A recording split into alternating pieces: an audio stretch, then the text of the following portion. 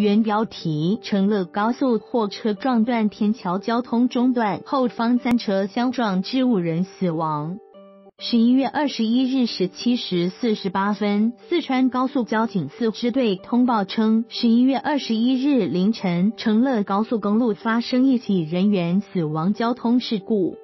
当日二时四十五分左右，成乐高速公路成都往岳山方向九十四公里路段，眉山市青神县境内，川 X 十五号重型货车与川 AW 三十七重型货车相撞，造成横跨高速公路的水渠天桥垮塌，导致双向交通中断，车辆排行等候。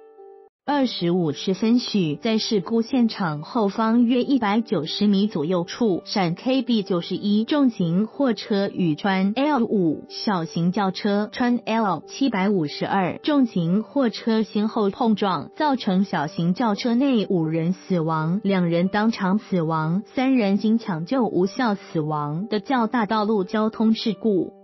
事发后，高速公路交警四支队第一时间启动重大突发事件应急预案，立即调集警力，会同高速公路交通执法、成乐高速公路公司以及眉山消防、医疗急救等部门赶到现场，组织施救和交通疏导，并在眉山收费站、观音滩收费站双向进行远端分流。九时三十分许，现场清撤完毕，成乐高速公路双向交通逐步恢复。正正常。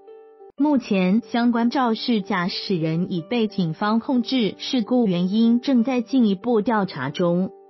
责任编辑：霍玉阳。